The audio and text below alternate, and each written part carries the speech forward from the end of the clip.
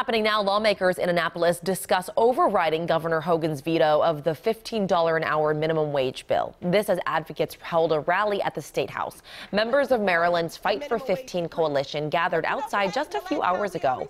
Governor Hogan suggests a compromise that includes a phased increase of $2 by 2022.